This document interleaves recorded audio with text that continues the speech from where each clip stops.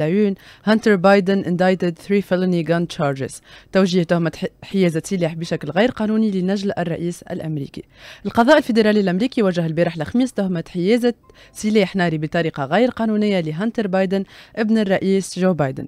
الوثائق القضائية كشفت أنه بايدن الابن قام بتصريحات كاذبة وقت اللي شرى السلاح في مدينة ديلاوير سنة 2018 ونفى مشكلته مع تعاطي المخدرات.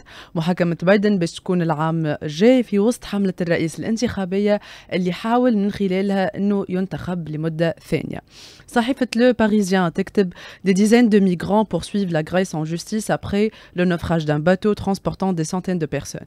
عشرات المهاجرين يقاذون اليونان بعد غرق قارب يقل المئات.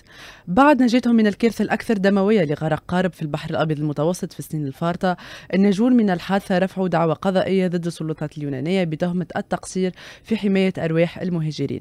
الحادثة صارت في شهر جويليا من العام اللي تعدى وين غرق فيها قارب صيد كان يحمل أكثر من 750 750 شخص على بعد 70 متر فقط من السواحل اليونانية. فرق الإنقاذ وخفر السواحل اليوناني حسب ما ذكرته الصحيفة لم تسرع لسحب القارب اللي انقلب ما أدى إلى غرق أكثر من 600 شخص. كانت هذه الغوفيو متاعنا اليوم ميسي نتلقى في الغوفيو